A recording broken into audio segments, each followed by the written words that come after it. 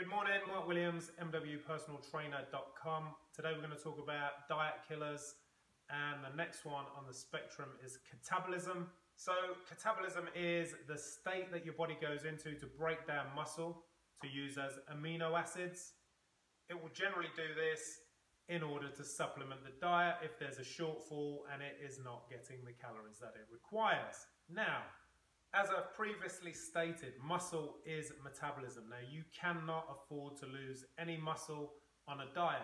Sure, if you have big amounts of fat to lose, then that may coincide with some muscle, but you have to do everything you can to preserve the muscle that you already have and do everything that you can to maybe build a little bit more if you're looking for that lean toned physique that you want to achieve. Remember, muscle is metabolism. Don't ever get away from it. It burns energy, it prevents the buildup of fat by burning calories. And if you want to look great on your diet or at the end of your diet, muscle is key. You can't afford to let it slip away.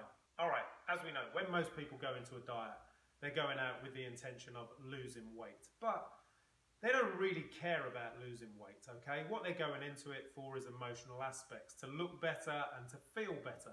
Losing weight is just what has become the norm for associating with going on a diet to lose weight. But the emotional connection with that is you want to look better and you want to feel better.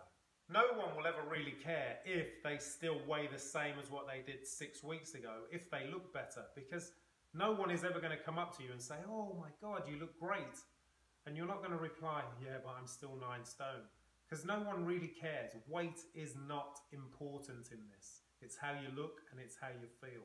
Now, that being said, if, if we accept that, then you need to preserve the muscle that you have because muscle is your key to looking better and feeling better.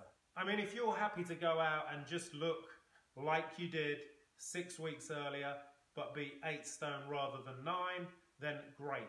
Go on a diet, lose a whole bunch of muscle, lose a whole bunch of water, and you, you will be some way to achieving that.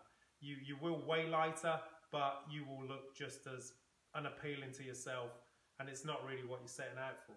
If you want that lean toned athletic physique, then muscle is key, and you need to hang on to it. At any point that you're losing muscle, you are just downgrading your engine size, okay? And a reduced engine size means less muscle, less calories burned, less calorie deficit at the end of every week, and less fat loss. So there you have it in a nutshell. That is why your muscle is important, and that is why you need to not only hang on to it, stimulate it, try and increase that mass slightly so that you burn even more fuel at a quicker rate of knots.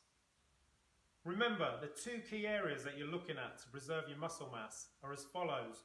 Bringing in resistance training, okay, it's really important. Not only does it help to stimulate the muscle that you have to burn the stored fuel that you already have, it helps to promote a little bit of growth in those muscles, helping you to achieve that leaner, more toned look. And secondly, your metabolism reset day, okay, that is so important as well because remember, every time you enter into a reduced calorie intake, okay, your body's hormone levels are adjusting.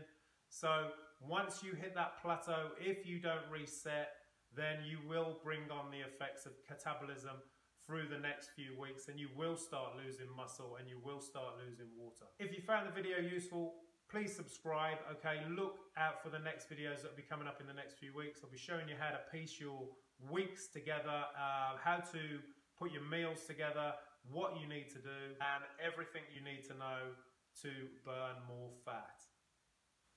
Okay, so that's it for now. Look out for the upcoming episodes, okay? We'll be going into all of this in greater depth, giving you more information on how to piece your weeks together. If you need any help, just DM me at mwpersonaltrainer.com. All right, good luck, keep going. See you in the next episode. If you found it useful, please subscribe, okay? Uh, and I'll get as much information out there for you that you can hopefully follow along and make big improvements in your plans. Okay, have a good day. Mark Williams, mwpersonaltrainer.com. Thanks very much.